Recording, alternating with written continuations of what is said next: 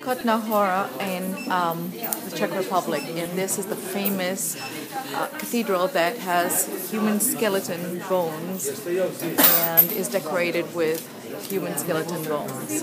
The outer bones, and this is one of the pyramids up close and personal in Kutna Hora.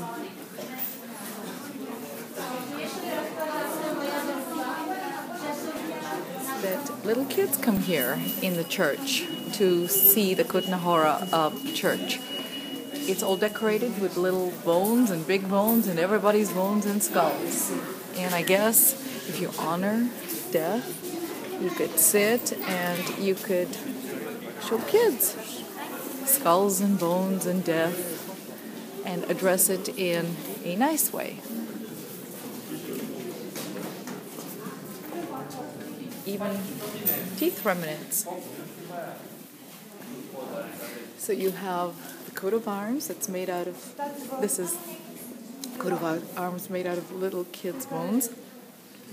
Those giant pyramids behind it with all the skulls and bones.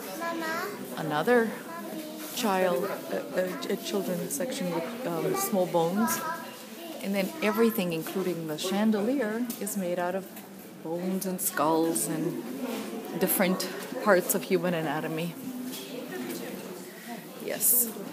So here's the skull, and it's biting on some femoral bone. Interesting design.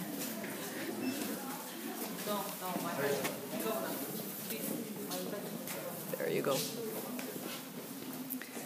And this is the famous Kutna Hora Church in the Czech Republic.